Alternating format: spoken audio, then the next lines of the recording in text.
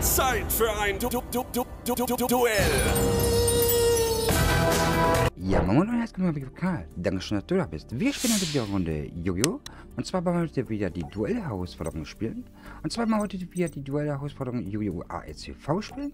Und zwar werden wir heute gegen Suzu spielen. Suzu darf entsprechend alle Karten benutzen, die ihr im Spiel freigeschaltet habt. Das heißt, sie darf entsprechend alle Fallenkarten benutzen, alle Zauberkarten benutzen, alle Fusionsmonster benutzen und alle Pendelmonster benutzen. Wir starten auch gleich rein, benutzen natürlich unser Kartendeck und schauen mal, ob wir gegen Suzu auch äh, gewinnen können und was wir für schöne Karten bekommen. Aber zuerst müssen wir was auswählen. Was wollen wir haben?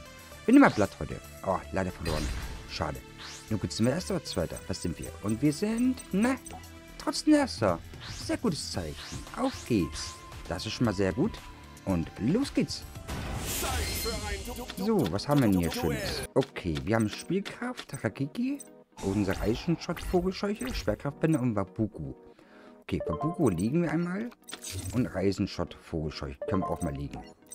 Ja komm, Spielkraft können wir eigentlich auch mal legen. Dann sind wir schon ganz gut dabei. So, dann beenden wir uns. So, so, so. Was machst du? Wir müssten am besten noch ein Monster haben, dann können wir auch angreifen. Solo ist ersten Satz, okay. Ähm, wie sagen wir kurz nein? 1200, nicht schlecht.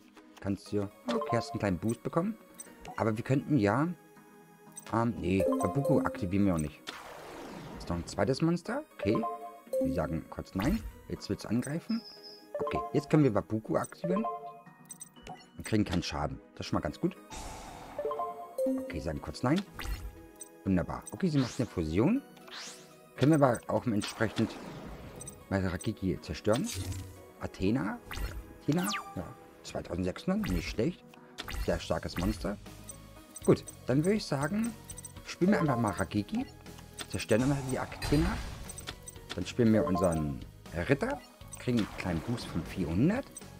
Oh komm, Sperrkraftbinder können wir auch mal legen. Als kleine Sicherheit. Und dann greifen wir an. Und geben ihr erstmal 1600 Schaden. Direkt auf Lebenspunkte. Bam. Oh, Ruf der Gejagten. Oh, oh. Okay, da ist die Athena wieder. Okay. Wir sagen kurz nein. Gut, was machen wir denn? Ach komm, wir beenden unseren Zug. Wir haben entsprechend noch Spielkraft und unser Eisenschott Vogelscheuche. Die können wir auch noch nutzen, wenn sie angreifen will. Können wir die Karten auch zerstören. Ah, wir sagen kurz nein. Wir kriegen 600 Schaden, okay. Ah, was hast du gemacht? Wir sagen kurz nein. Okay. Willst du wieder ein Monster... Kriegen wir wieder 600 Schaden? Okay.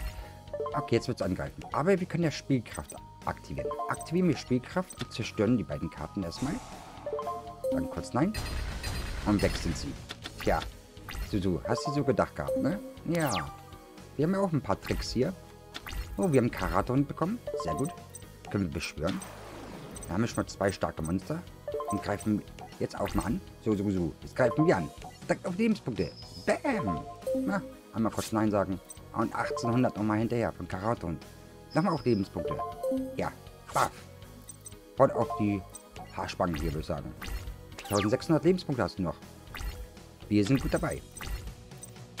Oh oh. Ähm, ich sage nein. Das schwarzes Loch. Ah, das ist nicht gut. Okay, 11. Was kannst du machen? Angreifen? Ja gut, dann aktivieren wir einfach mal... Hm. Oh, wir haben ja Vogelscheuche. Aktivieren wir Vogelscheuche. Locken wir den Angriff. Dann kurz nein. Sehr gut. Bekommen wir noch ein Monster, das wir auch angreifen. Was hat denn diese, diese 11? 1400. Okay, wir haben Krug der Gier gekriegt. Ist okay, können wir gleich der Karte extra ziehen. Dann schauen wir mal, was wir gleich bekommen. Na, Susu, willst du wieder angreifen? Oh, oh. Nein! Oh, oh. Das ist nicht gut. Unsere Vogelscheuche wird gleich ähm, platt gemacht. Deswegen aktivieren wir nochmal Schwerkraftbinder. Wir können Monster Stufe 4 und höher nicht angreifen. Okay. Da ist unsere Vogelscheuche weggegangen auf dem Friedhof. Aber es ist nicht schlimm. Okay, wir haben noch mal Abhören. Können wir mal legen. Und magische Zylinder können wir auch mal legen. Der Elf kann jetzt nicht angreifen. Der letzten Elf hier. Ist ja Stufe 4. Aber wir brauchen jetzt ein Monster, das wir auch angreifen können. Okay, sie beendet ihren Zug. So, Herzkarten gibt uns Monster. Zwangsübungsgerät. Okay, ja, können wir legen. Das ist okay. Und wir beenden unseren Zug. So, so, so. Du bist wieder dran. Was machst du? Ziehst eine Karte und beendest wieder den Zug. Okay, wir sagen kurz nein. Und was bekommen wir? Nächtlichen Strahl. Können wir nicht gebrauchen, weil sie hat keine Karte, keine Fallenkarte, dass wir die zerstören können. Aber sie liegt bestimmt gleich eine. Ah, noch ein zweites Monster. Okay. Wir sagen kurz nein. Sie wendet ihren Zug hier. Sie kann ja nicht angreifen durch Schwerkraftbänder. Oh, verräter Schwerter. Können wir aufsparen?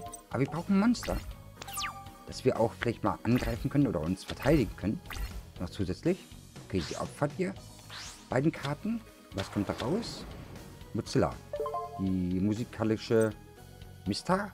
Okay. Aber wir können ja Zwangsübungsgerät aktivieren. Und die Karte hier wieder auf die Hand packen. Beziehungsweise, glaube ich, ins Deck wieder, oder? Nee, auf die Hand. Also heißt, wir müssen jetzt zwei Monster wieder opfern, um die Karte zu spielen. Oh, Spielkraft. Ja.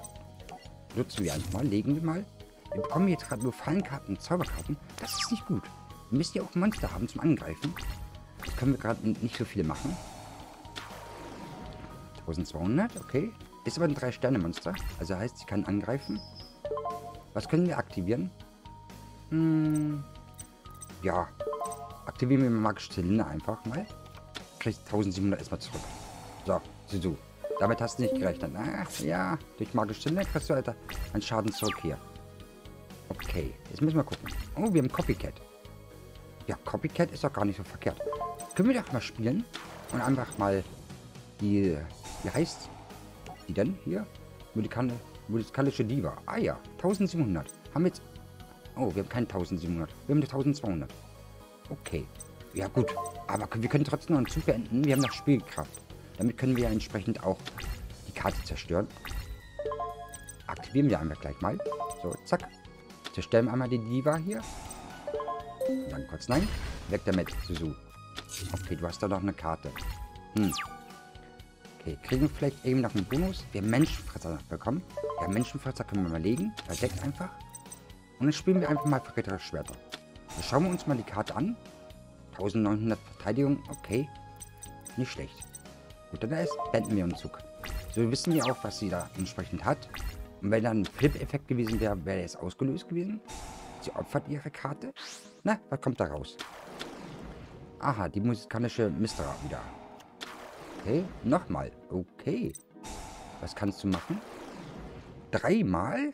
Was ist denn los mit dir? Okay, okay, Susu. Du willst es jetzt wissen, ne?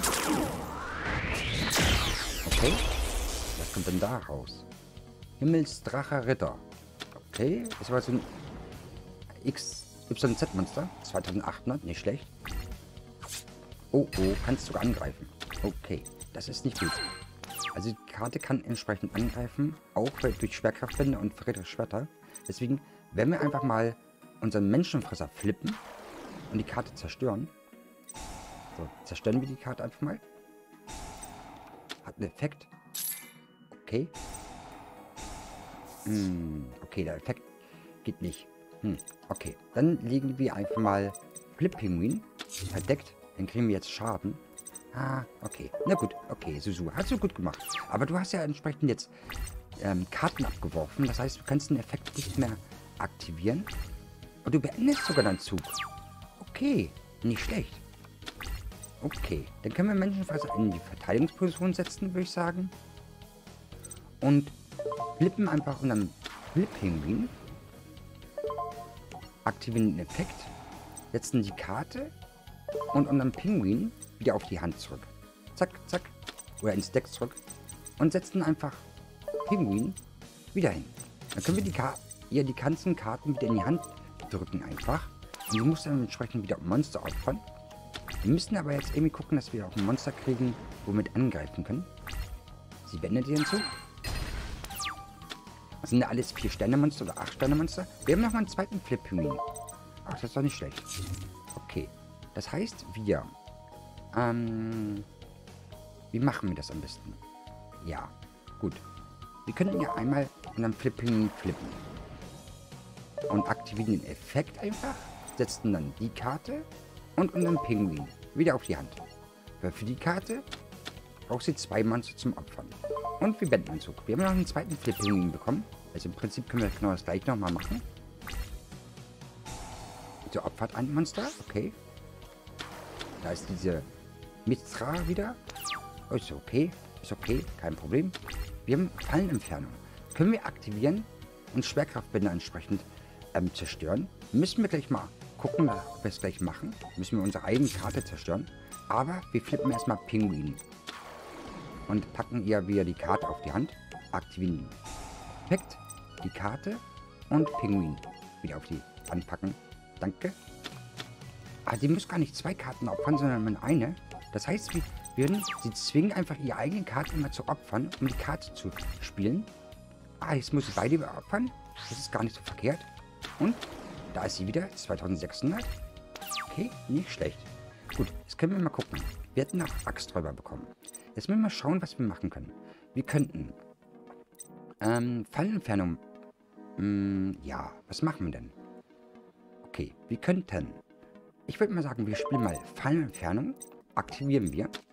Löschen Schwerkraftbinder. Weg. Dann nehmen wir Flip Penguin. Aktivieren den Effekt. Packen ihr die ihr ihre komische Mistra da in die Hand wieder. Und dann Pinguin packen wir uns auch auf die, auf die Hand wieder. Zack, zack. Holen uns den Axträuber im Angriff von 1700 und greifen sie einfach mal an. Und geben mir 1700 Schaden. Ja, Susu.